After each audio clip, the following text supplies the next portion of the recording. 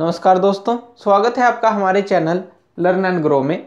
आज हम डिस्कस करेंगे स्टील रूल और उसके कुछ टाइप्स के बारे में, उसके मटेरियल के बारे में और ये किन किन साइज़ में पाए जाते हैं, उनके बारे में इसको देखेंगे। तो स्टील रूल जैसा कि इसको नाम दिया गया है, ये स्टील का बना होता है। ये हमारा स्टेनलेस स्टील का बना हो सकता है स्प्रिंग स्टील का ये बना हो सकता है, या फिर हाई कार्बन स्टील का ये बना होता है। तो कोई भी मटेरियल आप इसके अंदर चूज़ कर सकते हैं अकॉर्डिंग टू रिक्वायरमेंट लेकिन बना ये स्टील का होता है। और इसके थ्रू हम डायरेक्ट मेज़रमेंट करते हैं। किसी चीज़ को मापना हो, जैसे वर्कशॉप में हम किसी चीज़ को मापना हो तो इसके थ्रू हम डायरेक्ट मेज़रमेंट कर सकते हैं। उसके ऊपर मार्किंग की होती है, वो देखेंगे किस किस तरह की मार्किंग होती है। और उसके कुछ टाइप्स होते हैं, जो अलग अलग तरह के मापने की विधियों में इस्तेमाल किए जाते हैं। तो सबसे पहले बात करते हैं स्टैंडर्ड स्टील रूल की। देखिए, एक स्टैंडर्ड स्टील रूल है जो हर एक जो आप वर्कशॉप है, उसके अंदर ये पाया जाता है। तो इसके अंदर क्या होता है? एक लंबी स्ट्रिप होती है स्टील की, जो आप कोई भी यूज़ कर सकते हैं। मेनली ये हमारी स्टेनलेस स्टील की यूज़ होती है, या स्प्रिंग स्टील की यूज़ होती है। कई जगह हाई कार्बन स्टील की भी इसको यूज़ किया जाता है।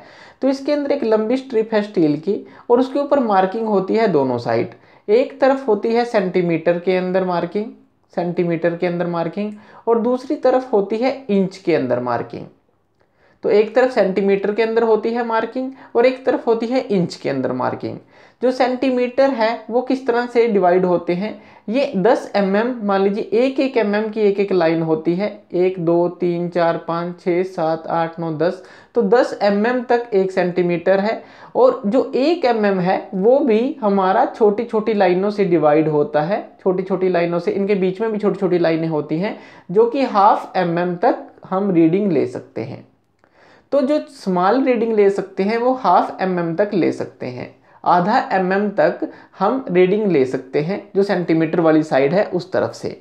और इसी तरह से इंच वाली साइड भी हमारी, जैसे जो एक इंच है, यहाँ पे देखिए जो एक सेंटीमीटर था, वो हमारा 10 एम mm में डिवाइड था और जो एक एम mm था, वो आधे आधे एम mm में डिवाइड था। तो आधा एम mm हम कम से कम रीडिंग ले सकते हैं, किसी भी चीज़ को कम से कम माप जो ले सकते हैं, आधा एम mm होता है, इसको हम लिस्ट काउंट भी बोलते हैं इसका, कि मिनिमम जितनी हम रीडिंग ले सकते हैं। तो एम mm के अंदर हम हाफ़ एम mm तक की रीडिंग ले सकते हैं आसानी से।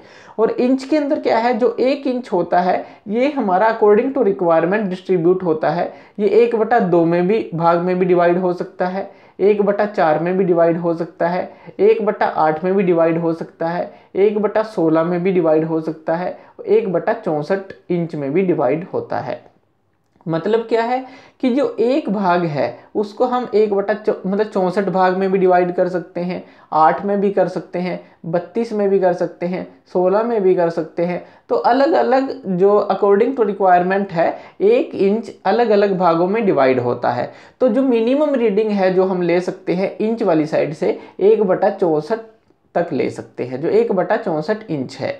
तो एक इंच का चौंसठवां भाग तक हम माप सकते हैं। तो इस तरफ़ इंच की रीडिंग होती है, जो मिनिमम रीडिंग हम एक बटा चौंसठ भाग तक ले सकते हैं। दूसरी तरफ़ सेंटीमीटर की रीडिंग होती है, जिसके अंदर एम mm के अंदर हम हाफ़ एम mm मतलब आधा एम mm तक माप सकते हैं। तो स्टैंडर्ड स्टील रूल लगभग जो है हमारा छः इंच से छः इंच से बारह इंच तक पाया जाता है। जो हमारा लगभग यूज़ होता है, या फिर अगर हम सेंटीमीटर में बात करें तो 15 सेंटीमीटर से 30 सेंटीमीटर तक पाया जाता है। तो कोई भी आप ले सकते हैं 6 इंच 12 इंच, या फिर 15 सेंटीमीटर से 30 सेंटीमीटर जो कोई किसी में भी आप इसका यूज़ कर सकते हैं। लेकिन लगभग जो है 6 से 12 इंच के पाए जाते हैं ये 15 सेंटीमीटर से 30 सेंटीमीटर पाए जाते हैं। लेकिन जो इनकी लंबाई है, वो काफ़ी हो सकती है। ये 6 इंच से लेके 48 इंच तक के हो सकते हैं। या अगर सेंटीमीटर में बात करें तो 15 सेंटीमीटर से लेके 120 सेंटीमीटर तक हो सकते हैं। तो काफ़ी लंबाई होती है अकॉर्डिंग टू रिक्वायरमेंट यूज़ कर सकते हैं, लेकिन जो ज़्यादातर यूज़ होते हैं वो 6 से 12 इंच छः इंच या 12 इंच का यूज़ होता है, या फिर 15 सेंटीमीटर या 30 सेंटीमीटर का यूज़ होता है, जो लगभग वर्कशॉप्स में यूज़ होता है। तो यह है स्टैंडर्ड स्टील रूल जो इसके ऊपर मार्किंग होती है।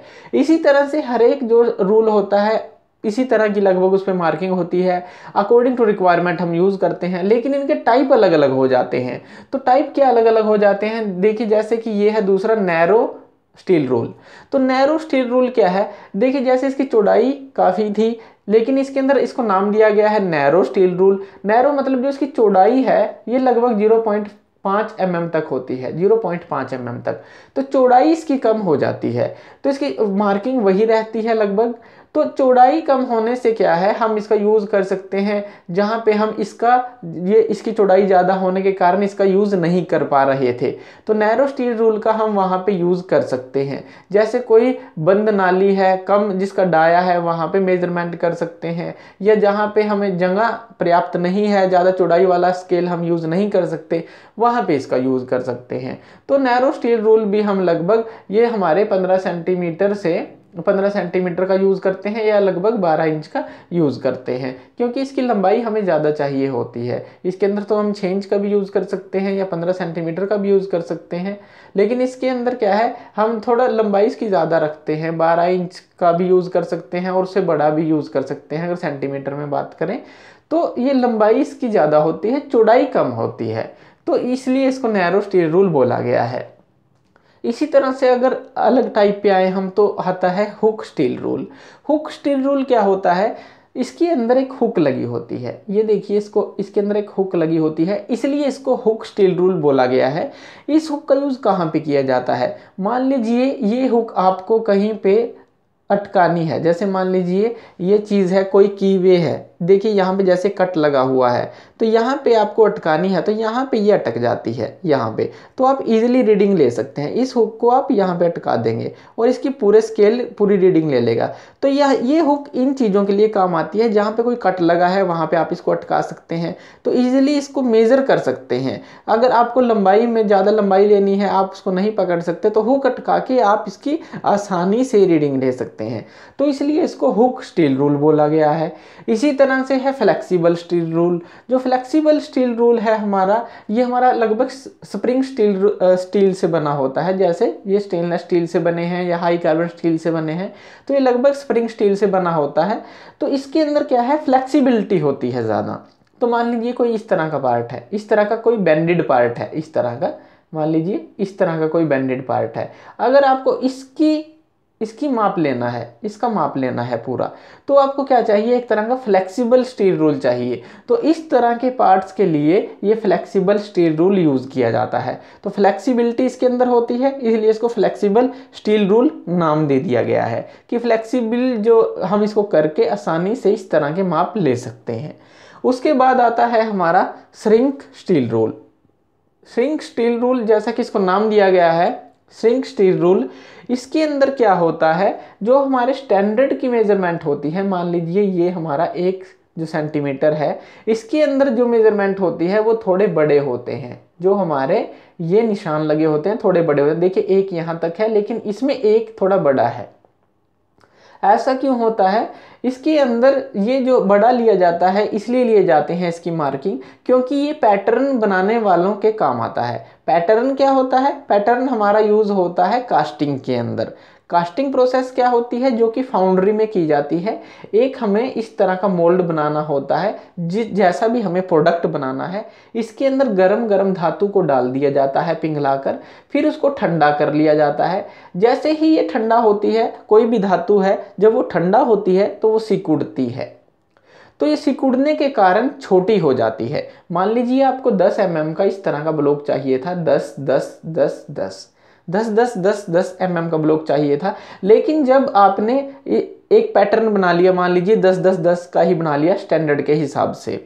लेकिन जब आपने इसके अंदर गर्म धातु डाली और वो सुकड़ी तो ये कम का बना, दस का नहीं बना। नाइन पॉइंट मान लीजिए नाइन एट का बना चारों तरफ़ से, या नाइन पॉइंट नाइन नाइन का बना, लेकिन एक्यूरेट नहीं बन पाया। क्यों? क्योंकि उसके अंदर श्रिंकेज हो गई, वो सिकुड़ गया। जब वो ठंडा हुआ। तो इसी चीज़ को कंपनसेट करने के लिए, इसी चीज़ की क्षतिपूर्ति करने के लिए ये जो मार्किंग है, ये थोड़ी बड़ी ली जाती है। अकॉर्डिंग टू मटेरियल ये मटेरियल के अनुसार ली जाती है। जैसे कि मान लीजिए कास्ट आयरन है, उसके लिए अलग मार्किंग का यूज़ किया जाता है। और अगर हमारा एलुमिनियम है, अगर हमारा ब्रास है तो अलग अलग मटेरियल के लिए अलग अलग ये श्रिंकेज होती है। तो इस हिसाब से पैटर्न को बनाया जाता है। तो अगर पैटर्न हम पहले से ही बड़ा बनाएँगे, मान लीजिए जितना भी ये श्रिंक हुआ, उतना पहले ही हम पैटर्न बड़ा बनाते तो ये कैविटी भी बड़ी बनती, जिसके अंदर हमें जो होट मेटल है, जो होट हमने पिघला कर डाला है, वो भी हमारा थोड़ा बड़ा बनता और जब वो सिकुड़ता तो एक्यूरेट साइज़ में आ जाता, जब वो ठंडा होता। तो इसीलिए ये बड़े, ये मार्किंग होती है, थोड़ी बड़ी होती है, ये अलाउंस दी होती है एक तरह की, ताकि जब ये धातु सिकुड़े तो ये अपने एक्चुअल साइज़ में आ जाए और हमें एक्यूरेट प्रोडक्ट मिले। तो इसका यूज़ करते हैं पैटर्न मेकर कि जो पैटर्न बनाने वाले होते हैं कि हमें किस चीज़ का पैटर्न बनाना है, जो किसी धातु का जो हम यूज़ कर रहे हैं तो अकॉर्डिंग टू उसके हम पैटर्न बनाते हैं। उस पैटर्न से इस तरह की कैविटी बनाई जाती है। इस कैविटी के अंदर फिर हॉट मेटल को डाला जाता है, फिर वो एक्यूरेट साइज़ देता है सिकुड़ने के बाद। इसलिए इसको श्रिंक स्टील रूल बोला गया है, क्योंकि इसके अंदर हम पहले ही मार्किंग थोड़ी बड़ी रखते हैं। ये अकॉर्डिंग टू रिक्वायरमेंट अलग अलग होती है अलग अलग अलाउंस दी होती है हर एक रूल के अंदर। तो ये भी एक अच्छा स्टील रूल है श्रिंक रूल जो स्टील रूल है। आगे आता है की सीट स्टील रूल की सीट स्टील रूल क्या है? एक तरह का ये एंगल की तरह होता है। जैसे मान लीजिए इस तरह है और इस तरह है, एक एंगल की तरह होता है। तो यहाँ पे देखिए ये स्टील रूल लगा है और दूसरी तरफ़ ये इसकी एक स्पोर्ट सी लगी है, जिसको हम एंगल बोल रहे हैं कि एक एंगल की तरह है, जो आयरन का एंगल होता है, लोहे का एंगल होता है, उस तरह का होता है। इसका जो नाम दिया गया है की सीट तो इसको ये की सीट क्यों दिया गया है नाम क्योंकि ये ज़्यादातर यूज़ होता है जो शाफ्ट के ऊपर कीज़ होती हैं स्लोट बनाने के काम आता है। मान लीजिए कोई शाफ्ट है इस तरह की, इसके ऊपर आपको कोई की काटनी है, यहाँ पे कोई की काटनी है स्लोट बनाना है या की काटनी है तो इसको आसानी से इस तरफ़ से स्पोर्ट देके ऊपर से आसानी से मार्किंग की जाती है। या कहीं पे समांतर रेखाएँ खींचनी हो, ये आसानी से ये स्पोर्ट जब हम लगा देते हैं तो ये स्टील रूल आसानी से लाइनें खींच देता है। तो इसको इसीलिए की सीट नाम दिया गया है कि जो की के जो हमारे शाफ्ट के ऊपर की लगती हैं, उनके ग्रूव कटते हैं तो उनकी मार्किंग आसानी से हम कर लेते हैं। उसके बाद आती है स्टील टेप। स्टील टेप आपने लगभग देखी होगी। ये स्टील टेप लगभग हमारी छः फुट तक की होती है। या हम बात करें कि दो मीटर तक की होती है। तो अकॉर्डिंग टू रिक्वायरमेंट इसका भी यूज़ किया जाता है। काफ़ी लंबी लंबी स्टील टेप होती हैं। ये भी स्टील का मटेरियल की बनी होती हैं और ये काफ़ी फ्लेक्सिबल होती हैं। जो हमारी इस तरह की चीज़ें हैं जिनका हम माप इन रूल से नहीं ले पाते या लंबी चीज़ें हैं काफ़ी ज़्यादा या काफ़ी ज़्यादा उबड़ खाबड़ चीज़ें हैं तो वहाँ पर हम इसका स्टील टेप का यूज़ करते हैं। तो स्टील टेप के अंदर ये हैंडल लगा होता है। इसको ईजिली हम कलेक्ट कर सकते हैं, इकट्ठा कर सकते हैं और इसको खींच के हम कहीं पर भी लगा के और लंबी से लंबी लंबाई को माप सकते हैं, उबड़ खाबड़ एरिया को भी माप सकते हैं लगभग। तो इस तरह से जो स्टील रूल है और उसके टाइप्स हैं, इस तरह से ये अलग अलग जगह पे अलग अलग तरह से काम आते हैं। लेकिन जो इनकी रिक्वायरमेंट है, वो हर जगह होती है। जैसे स्टैंडर्ड स्टील रूल है, ये हर जगह लगभग हर एक वर्कशॉप में आपको मिलेगा ही मिलेगा। तो इसके बिना क्या है, उनका काम चलता ही नहीं है।